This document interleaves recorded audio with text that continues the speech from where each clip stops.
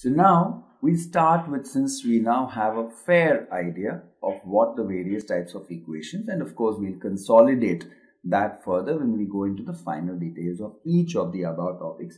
Let's start with simple equations because we always start with the simplest thing and then we build up on that. So let's start with simple equations. Okay.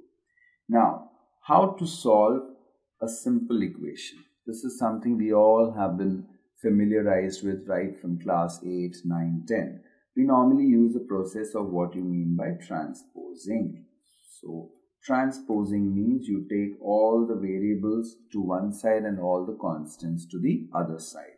So, for example, you have 2x since it is plus x over here, which is separating x to this. So we do the reverse of plus. The opposite of plus is minus. So when you take it to the left hand side, it becomes 2x minus x. Equal to maintains. 10 remains as it is.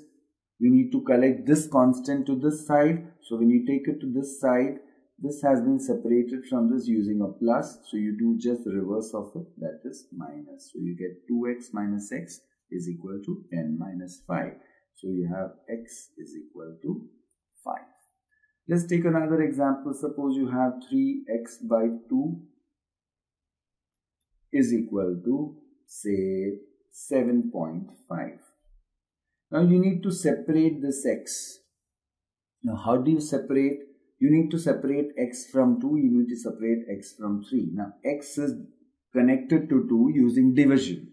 So what we can do is to separate x and 2 which are connected by division we do the opposite of that on the other side. That is we multiply that side by 2 taking it we call it cross multiplication. Or to separate it we do the reverse.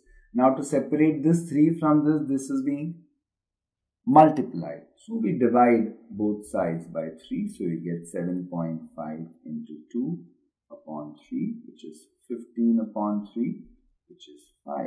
So we say that the solution to this equation is 5 or we also say that the root of this particular equation is 5 as well as this. Then this is 5.